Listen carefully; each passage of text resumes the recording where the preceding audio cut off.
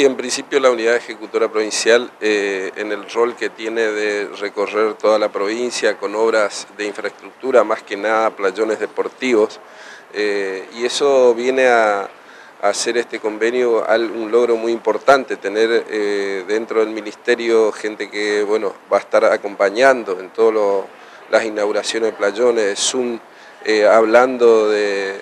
de no a la droga, no a las adicciones, me parece que eso es importante porque realmente eh, dos eh, instituciones de la provincia eh, tomaron la decisión de bueno, trabajar en forma conjunta y poder ir llegando a aquel sector que es más vulnerable de la provincia, ¿no es cierto?, que son los jóvenes, que bueno, estas charlas de capacitación que se le va a dar en cada evento que se haga a través de del Ministerio de Salud Pública en conjunto con la unidad ejecutora, creo que va a llegar a,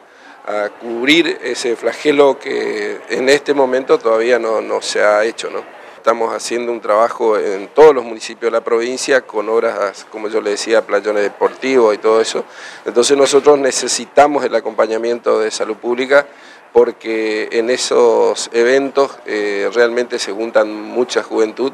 y la idea es eh, que, bueno, que no sea una firma de convenio y que quede muerta, sino que al contrario ir a los distintos barrios de la, de la provincia, porque mayormente se hacen los barrios, estos playones deportivos, y bueno, llegar a la gente para que ahí tenga esa dinámica que se necesita, ¿no es cierto? Nosotros prácticamente toda la semana estamos entregando un playón deportivo en cada localidad de la provincia y eso significa un trabajo en conjunto y que seguramente este convenio va a tener una gran importancia hacia el futuro, ¿no? A través del deporte por ahí se busca prevenir un poco las adicciones, sería el planteo. Y totalmente, nosotros eh, cuando asumimos en la unidad ejecutora la idea era eh, generar este tipo de infraestructura en los municipios que son los que más requieren los intendentes, porque en definitiva es de alguna manera sacar a los chicos no solo de la droga, sino de las distintas adicciones que tiene el joven y que está en esa etapa de, querer probar y hacer cosas diferentes. Y bueno, hoy eh, con este convenio yo creo que vamos a llegar a,